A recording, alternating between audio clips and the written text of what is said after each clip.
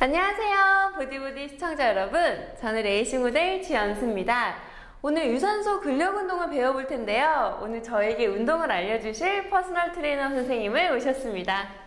네, 안녕하세요. 이양미 트레이너입니다. 반갑습니다. 네, 반갑습니다. 어, 선생님 오늘 이렇게 볼을 준비해 주셨는데요. 네. 오늘 어떤 운동을 가르쳐 주실 건가요? 아, 오늘은 복근 운동 중에 crunch 동작이라고 해서 어, 전체 복근에 자극은 가지만 배꼽 아래를 더 집중적으로 운동할 수 있는 동작입니다. 어, 그럼 저희가 흔히 알고 있는 똥배 맞나요? 그렇죠. 네. 네. 아, 이 똥배가 없어지는 운동이면 저도 너무 관심이 가는데요. 네. 어떤 운동인지 먼저 좀 네, 보여주세요. 한번 보여드릴게요. 네.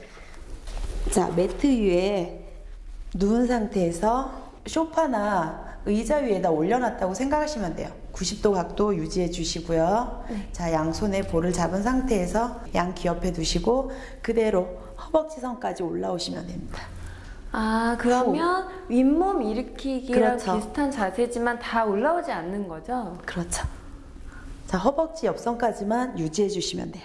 네. 자, 아, 보기에는 굉장히 간단해 보이는 동작인데요. 네. 네.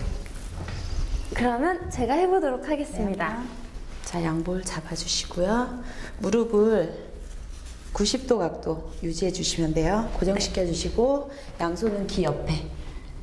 네, 쭉 뻗어 주시고요.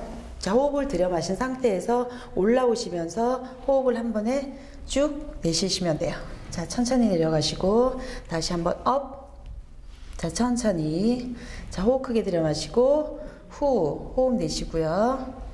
다시 up. 다운 잘하시는데요?